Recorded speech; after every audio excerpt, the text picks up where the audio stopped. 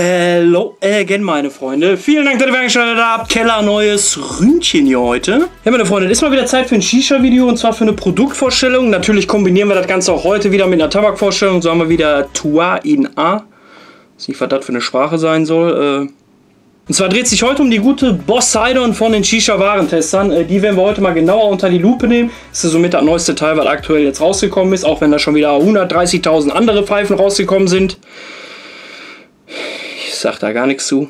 In Kombination mit einem 187 Straßenbande äh, Tabak hier, ihr habt mir die Ohren voll gejault. Ich habe mir jetzt einen gekauft, den Lemon. Ja, den werden wir am Ende unter die Lupe nehmen, Freunde. Wir gehen aber vorerst, wie immer mal in den Abbau und in den Lieferumfang des Ganzen, kommen dann zum Abschlussfazit hin und zur Tabakvorstellung. Ja, also konzentriert euch. Ich gebe ab. Ja, Freunde, und dann kommen wir immer mal in den Abbau. Ich hoffe, das passt jetzt so auch vom Sound. Ich musste die Kamera ein bisschen anders hinstellen weil die schon nicht klein ist, die Pfeife. Tut mir leid, wenn das hier unaufgeräumt ist. Ich bin hier gerade mal wieder am Umbauen. Ja, das ist, ich weiß auch nicht, irgendwie bin ich hier dauerhaft am Umbauen.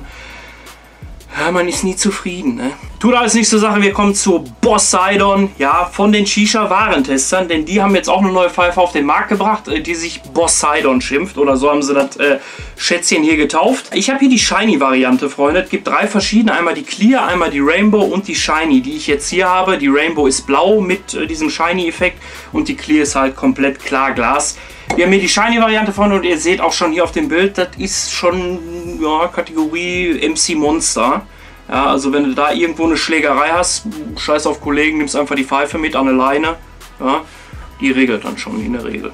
Wir bauen das Ding wie immer ab, damit ich das gleich befüllen kann und äh, losschnorcheln. Ja. Äh, was haben wir alles bei der Pfeife dabei? Ihr habt auf jeden Fall einen integrierten Schliff mit 29 2er Schliff. Nicht mit dem 18 sondern mit dem 29 2er, was ich clever finde, einen größeren Schliff hier anzusetzen, weil die größeren Dinge halt einfach ein bisschen massiver sind oder ja, packt da ein 18,8er Schliff drin, das Ding wiegt ein bisschen was. Hier ein graziles Glasteil zwischen, knackt ihr safe irgendwann durch. Ja, Das wurde hier auf jeden Fall gut gelöst äh, mit dem 29-2 Schliff. Ihr könnt hier Molassefinger, was weiß ich nicht, alles zwischenknallen. Könnt das Ding hier, äh, wie gesagt, auseinanderschrauben, den Kopfanschluss. Es sind jeweils zwei Dichtungen dabei, also eine Austauschdichtung. Zum Zubehör kommen wir aber gleich noch. Äh, das Ganze ist wirklich schön verarbeitet. Oberflächengüte hier sensationell, geiles Teil. Ihr habt hier noch eine Unterlegscheibe, die ist nicht blau, da ist einfach nur eine Folie drüber. Die habe ich jetzt nicht abgemacht. Was mir nicht gefällt, ist der Teller. Der wird dem ganzen äh, Boss irgendwie nicht so ganz würdig. Er ist sehr, sehr dünn und ich kann ihn knicken. Ja, ich, ich sag mal, ja, so ein kleiner Schönheitsfehler der Teller. Müsst ihr eventuell von einer anderen Pfeife nehmen oder ihr lasst den drauf. Ist jetzt kein Beinbruch, aber ich erwähne es halt, ja, weil ich schon ein paar Pfeifen oder ein paar Pfeifen sind schon durch meine Hand gegangen. Da ist mir das jetzt hier natürlich aufgefallen und ihr habt hier halt die Tatzen hier drauf, ne? Ah ja, machst du nichts. Noch das Logo von den Jungs hier drauf in klein. Ich hoffe, man erkennt so ein bisschen, reflektiert natürlich alles. Ja, den Teller finde ich nicht so schön. Kopfanschluss und alles ist wirklich äh, top. Auch die Gewinde da laufen echt sensationell, muss man wirklich sagen. Wir kommen zur Base und zur Rauchsäule und zum Taucher. Sehr, sehr kurzes Grobgewinde, Freunde, was auch wirklich astrein funktioniert. Auch hier von innen, innerhalb der Base, da werde ich aber gleich, obwohl ich werde das Taucher abmachen, dann sieht man das besser. Gewinde laufen gut. Gewinde laufen echt gut, da kannst du nichts sagen. Base von innen sieht wirklich knackig aus. Ja, also hier ist auch nichts wirklich, hier ist auch nichts scharf. Also bei mir ist hier nicht scharf. Ich kann hier ohne Probleme durch. Kannst du auch deinen Sack reinhängen. Würde ich nicht empfehlen. Wirklich schön verarbeitet, also da muss man wirklich festhalten. Rauchsäule ist natürlich aufgrund auch der, der Pfeife und der Größe geschuldet. Sehr, ein Klopper.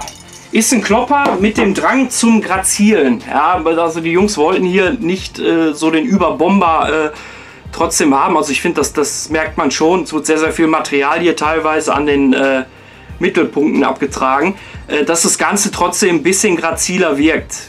Es ist schwierig bei so einer Größe das hinzukriegen. Die Rauchsäule finde ich an sich von der Optik her nicht schlecht. Ist natürlich alles Geschmackssache. Ich habe hier ein paar Macken drin.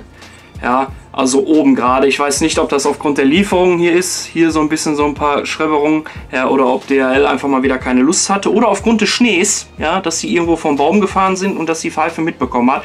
Es sind zwei, drei kleine Schrammen hier drin. Keine Kratzer, nichts Tiefes, sondern Schrammen. Das wirst du easy wegpoliert kriegen. Aber ich muss es halt erwähnen, weil es hier bei mir ist. Ja. Ansonsten ist es Taco. Ansonsten ist es Taco. Tauchrohr, Freunde, ja, ein stinknormales Tauchrohr, ja, leicht poliert hier die Oberfläche, alles. Auch hier sind die Gewinde astrein. Ihr habt die Möglichkeit, äh, einen Diffuser dran zu schrauben. Der ist mit im Lieferumfang enthalten. Ihr könnt den aber auch abmachen und ihr habt, ist egal von welcher Seite ihr den dran schraubt. Ja. Also die Gewinde sind an beiden Seiten gleich. Da müsst ihr nicht hier und dann, ah, scheiße, nochmal umdrehen. Ja, könnt ihr einfach Augen zu und dran schrauben. Äh, ist ein typischer Diffuser, Freunde. Ja, auch der ist gut verarbeitet, ja, also da, da kannst du nichts sagen. Machen wir weiter mit der Base. Ihr könnt zum Start mit einem Schlauch anfangen zu rauchen, allerdings könnt ihr auch auf vier Schläuche erweitern, ja. Da müsst ihr allerdings im Shop gucken, wie gesagt, die Links sind alle unten drin. Äh, wer sich das mal genauer angucken möchte, sonst habt ihr zwei Blindstopfen und ein Ausblasventil noch mit bei. Ihr bekommt noch Ersatzkugeln dabei, äh, falls ihr mal eine verliert. Das pa passiert mir mal das ein oder andere Mal sehr, sehr gerne. Aber ansonsten sieht das auch hier wirklich in Ordnung aus. Ich habe hier keine scharfen Kanten oder sonstiges dran. Äh, es sieht gut aus. Ja, es sieht gut aus. Alles sehr, sehr weiche Oberfläche. Also sehr, sehr glatt alles. Ich finde es gut. Und gewichtstechnisch, also die Base wiegt jetzt nicht viel. Ich hätte mehr gedacht. Da wiegt die Säule schon einiges mehr. Ja. Wirkt natürlich von der Größe auch so, aber ich habe auch schon Bases gehabt, die haben... Äh, ja, das ist acht Ziegelsteine in der Hand. Das ist hier nicht so. Ja, also ich finde, das geht auf jeden Fall vollkommen in Ordnung. Kommen wir noch zur Bowl und äh, auch die ist in Ordnung. Ihr habt hier unten so eine kleine Einkerbung für ein LED-Pad. Äh, da bin ich kein Freund von. Weil das mindert, für, ich finde, das mindert für mich, ist, ist meine persönliche Meinung. Das, das, das mindert für mich immer so ein bisschen die, ja, die, die Hochwertigkeit oder den, den Anschein von Hochwertigkeit. Ja, weil das halt, ja, möchte hier keine Marke schlecht reden, aber das ist halt bei Amy kam das, meine ich. Und Amy sind nun mal Mittelklasse Pfeifen, ja, mit denen kannst du auch gut rauchen. Aber da war das halt und ja, weiß ich nicht, irgendwie denke ich dann immer, mm, ist, ich weiß nicht, ob man das unbedingt haben muss, ja, dann lieber so selber was bauen, wo man nicht draufstellt komplett. Er tut jetzt der Sache nichts, ja, also die Bowl-Dicke ist in Ordnung, ja, da macht das jetzt hier auch nichts wett, ja, aber das ist für mich halt so ein optischer, optischer Aspekt. Äh, ich habe hier keine Blase drin.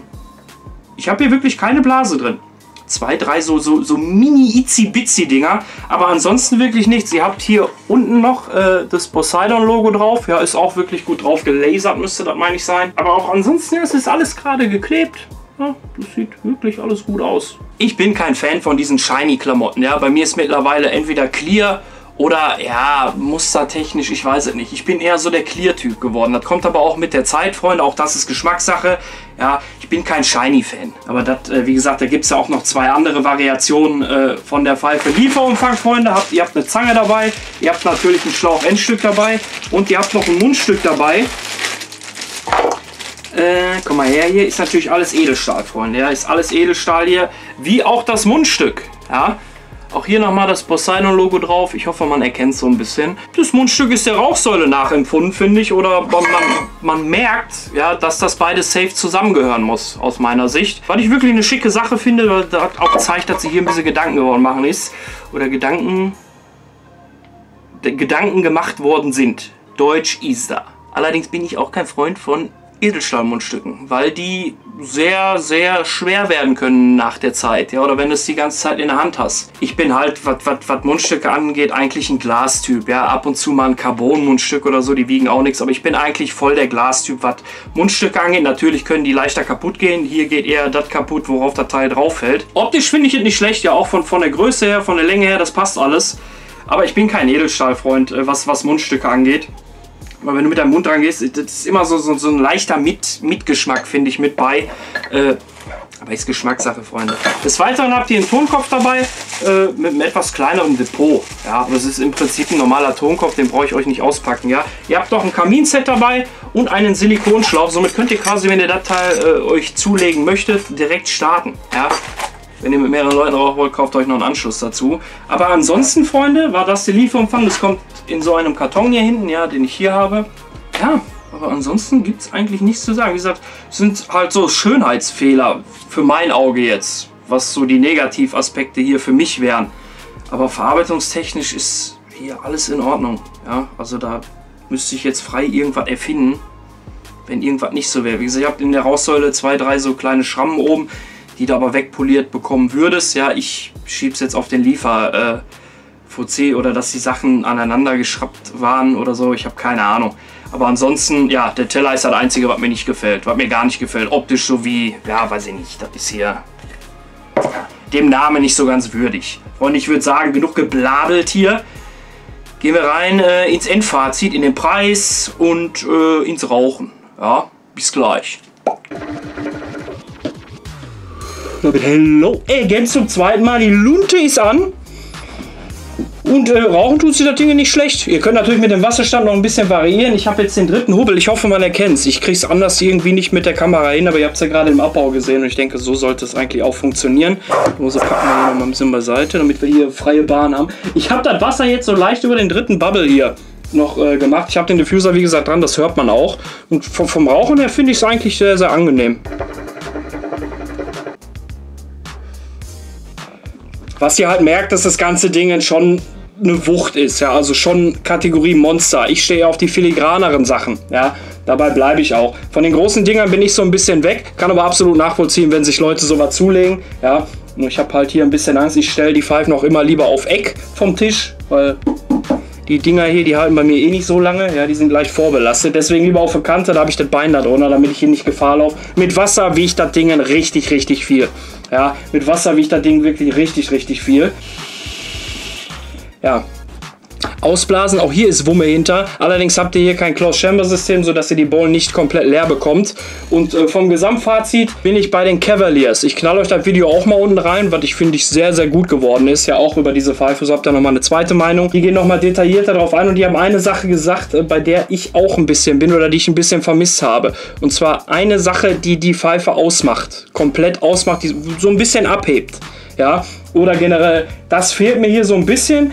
Nichtsdestotrotz ist es ein kompaktes Paket, ja auch alleine vom, vom, vom Zubehör her, von der Optik, das, das muss euch gefallen. Ja, das, das, äh, ihr kauft euch keine Pfeife, die ihr optisch scheiße findet, damit beschäftigt ihr dich in der Regel nicht.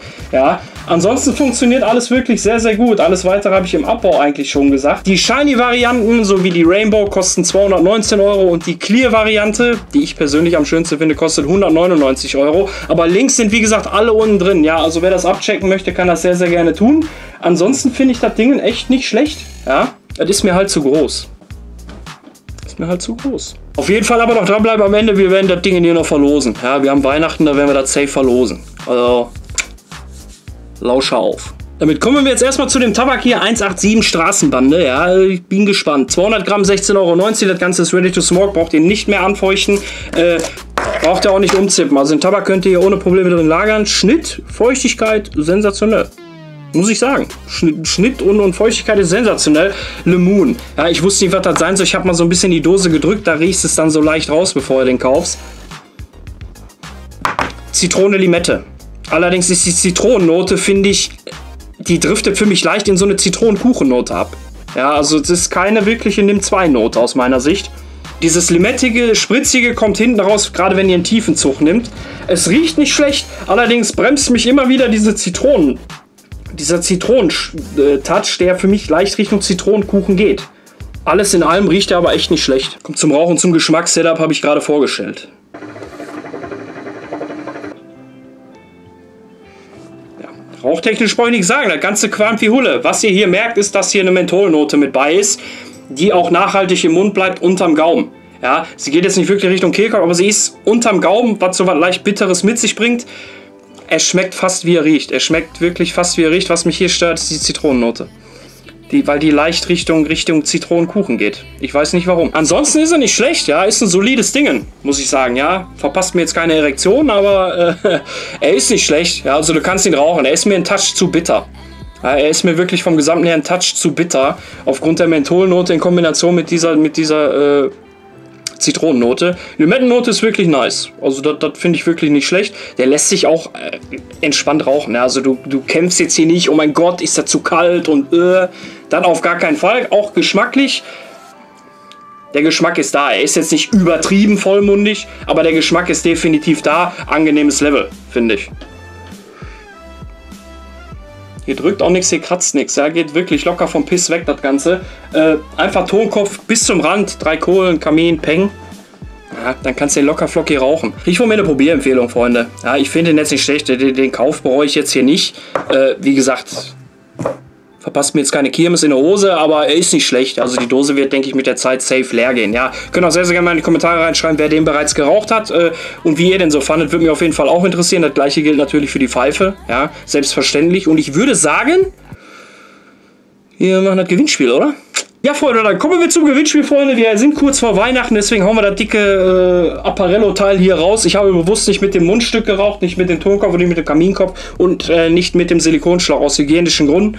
Äh, ich werde die Pfeife euch noch safe sauber machen, natürlich, nach dieser Session hier. Klare Kiste. Und dann geht die an euch raus, ja, an den glücklichen Gewinner von euch. Alles, was ihr dafür tun müsst, ist äh, dem äh, wahren Testerkanal ein Abo dagelassen haben, äh, dem letzten Video Freestyle Rocksteady Gurkensalat zum Rauchen, Hashtag Poseidon in die Kommentare ballern und die Jungs auf Facebook ab abchecken. Ich werde alle drei Links unten reinballern, passend in der Kategorie Gewinnspiel.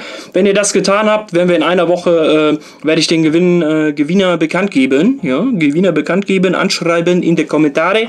Und äh, ja, dann äh, GG auf jeden Fall an dich, mein Junge. Ihr wisst Bescheid, was zu tun ist. Äh, alle weiteren Links sind ebenfalls unten drin in der Videobeschreibung. Könnt ihr sehr, sehr gerne abchecken. Viel, viel Erfolg auf jeden Fall bis dahin. Ich wünsche euch eine Menge, Menge Rauch, sehr, sehr viel Geschmack. Hoffentlich bis zum nächsten Mal. Ich bin raus und tschüss.